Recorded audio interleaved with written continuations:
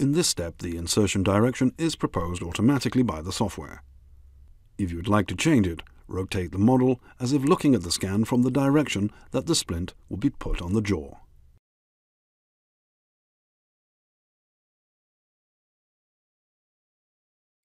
Press the From View button, and this new insertion direction will be calculated. The insertion direction can also affect the possible retentiveness of the splint. By adjusting the direction, you can control the location and volume of the undercut areas. If a notification saying that the model has tunnels or holes appears, it is advisable to press Correct, as this ensures that further design steps are not hindered by possible problems on the surface of the scan. You can now adjust the retentive areas of the splint. All the colored areas are undercuts. When the Perform Undercuts Removal option is enabled, it will block the splint from going into an undercut area. If you disable this option, the undercuts will still be shown, but the splint will not be automatically blocked from going into those areas. By changing the retention value, you can control the coverage of the blockout wax. This determines how much the occlusal splint is allowed to go into an undercut area globally.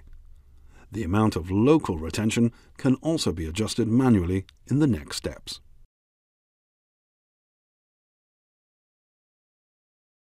In the wax trimming step, you can apply wax to protect potentially sensitive areas in the patient's mouth from direct contact with the splint's inner surface as contacts may cause discomfort or irritation to the patient. For example, the ruga, papilla incisiva, incisal edges, and the gum line. Wax can also be applied to block out and safeguard fixed retainers, tooth jewelry, and fragile structures. Blockout wax should also be applied on surfaces with missing scan data, for example holes or scan artifacts. Note that you can use the Smooth tool by left-clicking the mouse button and smoothing over any areas on the scan. The Smooth tool allows for the adding of relief wax in a controlled way, using the surface normals of the scan. For a stronger effect, the Add tool can be applied in a desired strength and diameter. You can also use the Add and Smooth tools to apply extra wax relief into sharp fissures and interproximal areas to significantly facilitate the seating of the splint. In this step, you can also add retention locally. For example, retention can be acquired both from undercut areas, from the buccal and palatal sides of the patient's teeth.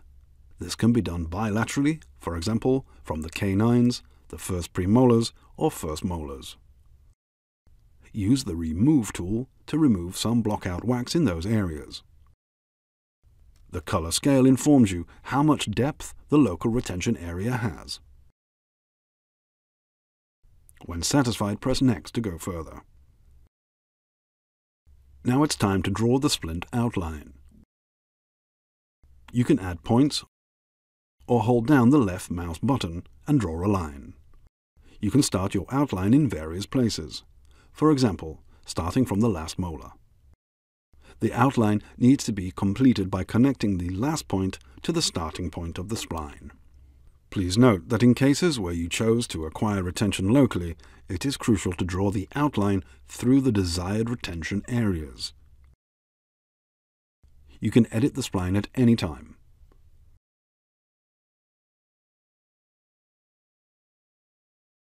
In the case presented here, the outline is drawn over clearly undercut areas, or just over the prominence line in the posterior regions, to gain even retention.